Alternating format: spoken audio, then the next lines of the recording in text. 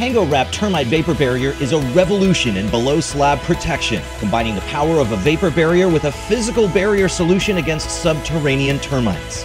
Marketed exclusively by Stego Industries, Pango Wrap's patented and trade secret composition provides a physical barrier between the termites below the surface and the building envelope above.